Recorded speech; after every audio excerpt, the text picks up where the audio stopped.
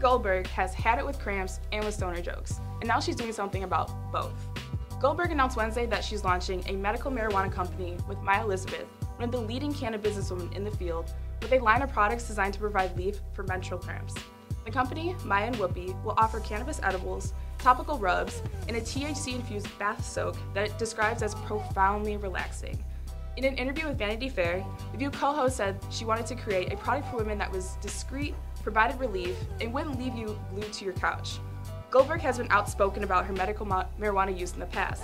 In 2014, she wrote In the Cannabist about her love of kush-filled vape pens, which she says gives her relief from glaucoma-related headaches without resorting to eating handfuls of Advil every day.